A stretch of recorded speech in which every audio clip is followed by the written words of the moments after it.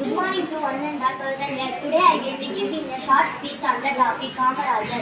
Kumarasamy Kamaraj, popularly known as Kamarajar, is a renowned freedom fighter and political activist hailing from Tamil Nadu. He also served as the chief minister in the then Madras presidency for a duration between 1954 to 1963.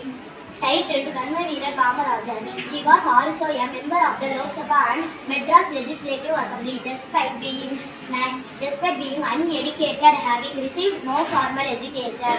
He was the he was nicknamed the Kingmaker of Politics. He was highly influential, influential across India. His power strong even with the central government. He was the one who brought he was the one who brought free education to the poor and introduced them free midday meal scheme.